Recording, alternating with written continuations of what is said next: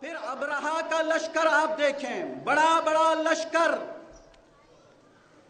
बड़ी बड़ी हाथियों को लेकर के। आया था खाने खुदा को ढाने के लिए। तो उस वक्त अल्लाह ने क्या किया? अल्लाह ने छोटे छोटे अबाबील भेजे। अबाबील कितना बड़ा परिंदा है अजीजों।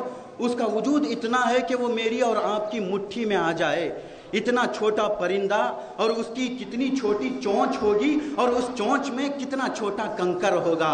इस कंकर को दुश्मन की हलाकत का सामान बनाया। खुदा कह रहा है, तुम्हारी बड़ी बड़ी कुदरत फूंक है। तो अब ये परिंदे आए और कंकरियाँ बरसाने लगे। रिवायत का जुमला है कि एक भी कंकर खता नहीं गया इश्तबा नहीं हुआ, एक भी कंकर गलत जगह नहीं हुआ, हर कंकर दुश्मन के लश्कर पर पड़ता रहा। अजीजों, जब खुदा ने एक परिंदे को भेजा है और खुदा का भेजा हुआ परिंदा खता नहीं कर सकता तो खुदा का भेजा हुआ रसूल कैसे खता कर सकता है? तो अजीजों, ऐसा क्यों किया खुदा ने? अब रहा के लश्कर में। अगर खुदा भी बड़े हाथियों के लश्कर को भेजता तो अब रहा की कुदरत का एतराफ करने के बराबर था।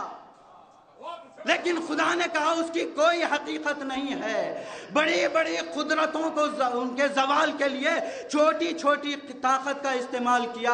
अब हम इमाम हुसैन को भी मजहर सिफात इलाही कहते हैं। जब हुरमिला आया तो इमाम हुसैन ने हुरमिला के मुकाबले में अगर अब्बास को भेजते तो हुरमिला की ताकत का एतराफ था।